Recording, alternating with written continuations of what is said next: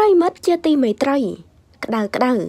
តារាចម្រៀងហុងមាសថៃថៃឆ្លង COVID-19 ដែរហើយ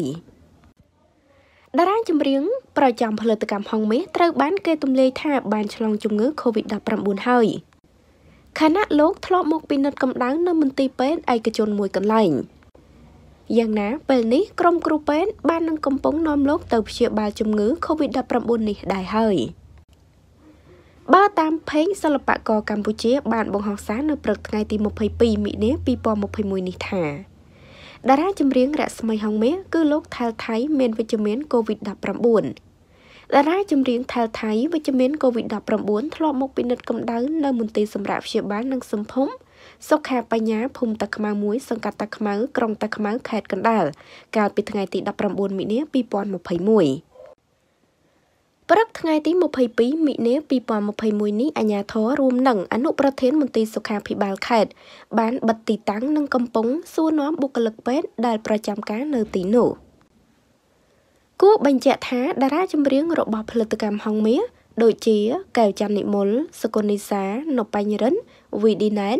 អ្នកដឹកនាំសម្ដែង MV លោក Innova Song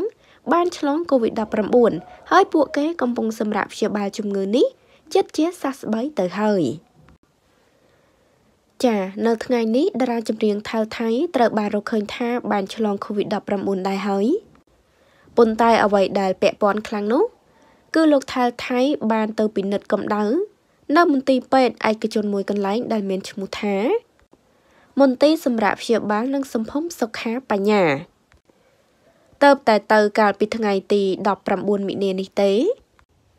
មិនដឹងថាអ្នកណាខ្លះបានប៉ះពាល់ផ្ទាល់ឬក៏ប្រយោលចំពោះលោកថៅថៃនោះឡើយពេលនេះក្រសួងសុខាភិបាល បានចុះទៅសាកសួរហើយក៏បិទទីតាំងនេះផងដែរហើយលោកថៅថៃក៏បានសំណូមពរអ្នកដែលបានពាក់ព័ន្ធខ្លួនទាំងអស់សូមចូលខ្លួនទៅពិនិត្យដើម្បីស្វែងរក COVID-19 ជៀសវាងការរីករាលដាលកាន់តែធ្ងន់ធ្ងរនៃវីរុស COVID-19 នៅកម្ពុជា។ ចាហើយតេតងនឹងព័ត៌មាននេះដែរក៏សូមបញ្ចប់តែត្រឹមនេះ សូមអរគុណសូមគោរពលា